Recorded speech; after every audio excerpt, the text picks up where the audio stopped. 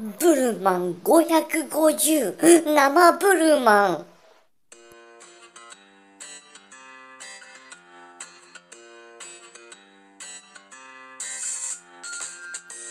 うも、おなはま一人暮らしです。私はいわきに暮らす独身 OL よ。さて、今日私は何をしてるかというと、こちら、小名浜港の周りをお散歩中でございます。今日はね、そんなお散歩の中で出会ったいかついこのお兄さんたちを紹介していくわ。では、参りましょう。Shall we go? まず最初に、こちらのオレンジのお兄さん。お名前は、ブルーマン550って言うんですって。こちらのね、いかついお船、だいたいいくらすると思うお値段、なんと、約15億円ですって。船ってめちゃくちゃ高いのね。そんなお船の目的は、震災の瓦礫とかをね、撤去するために使われるんですって。重たい重たい重機をね、運ぶ、そんな役割の船だそう。なんと、400トンもの重さのものを釣り上げちゃうんですって。なんてたくましいの。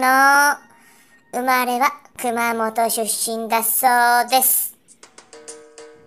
ああ、いい男見ると目が癒されるわ。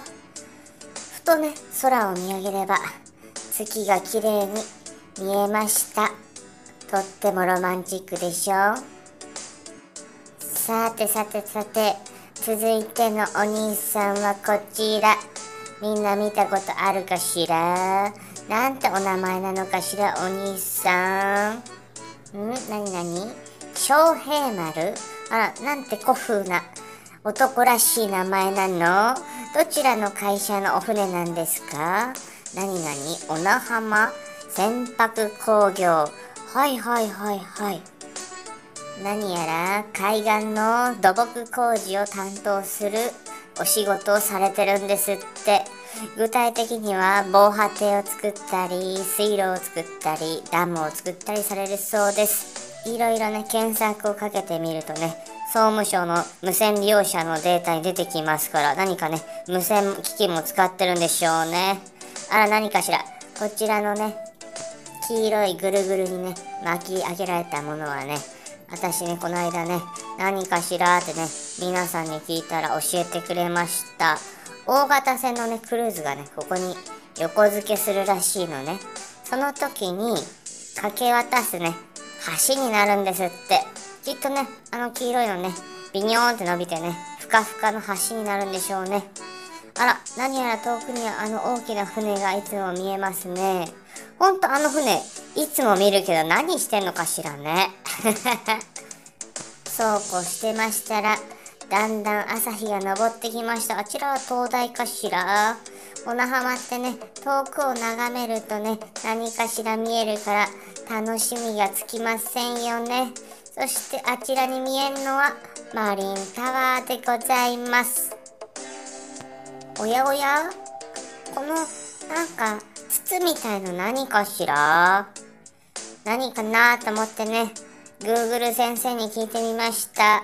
なんて書いてあるかというと、うん、こんな風にね、筒状になっていて、中身は何も入ってませんでした。灰皿かなと思ったら、海尽くしっていうの。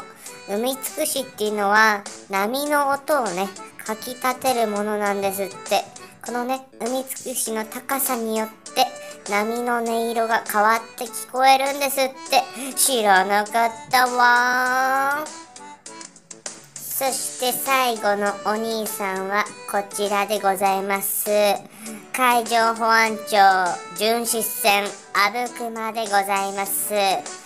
こちらのね、海上保安庁さんのね、阿武隈は、よくいつもね、止まってますよね。一体何をしてるね、船なのかというと、海の安全、安心を守ってくださってるんですって。なんと全長56メートル重さ335トンでございますカバー範囲はこちらの図面の通りでございますいつもね私たちの大好きな海の安心安全を守ってくれてどうもありがとう。阿武隈っていうのは福島県に流れている阿武隈川から取られてるんだそうです。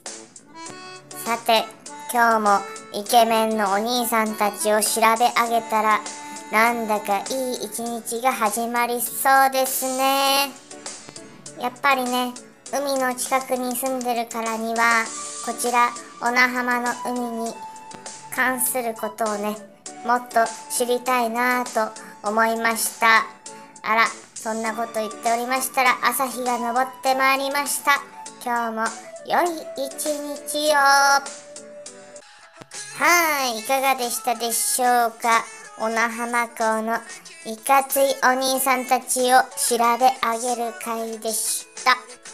ではコメント返してまいりましょう。榎本さん凄さがわからんから教えてくださいませ。あっさんこれ何の作業船？ということでね結構ねご質問いただいたりしたので今回私も気になって調べてみました。身近にある船がねどんなお仕事をしてるのか調べると面白いわよね。次の方コグさん今朝近くまで行ったの。港に行けばよかったわ。あらコグさんのお散歩ルートでした。もしかしたらすれ違ってるかもね。はい、レストシンさん、ブルマン550のひっそり満線色。元旦でもなかなか見れないような気がする。ウォーキングのご褒美。あら、ほんとよね。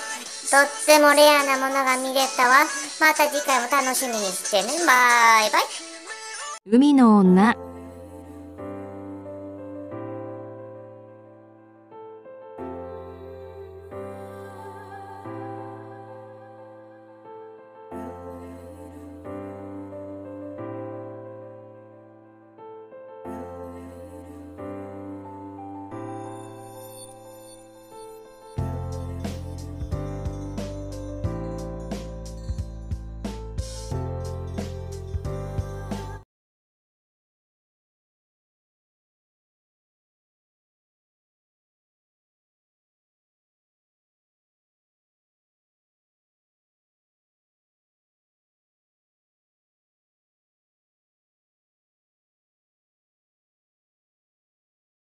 気分次第です。僕は敵を選んで戦う少年叶えたい未来もなくて夢に描かれるのを待ってた。そのくせ未来が怖くて明日を嫌って過去に願ってもうどうしようもなくなってスケブンだ明日よ明日よもう来ないでよって。そんな僕を置いて月は沈み日は昇るけど。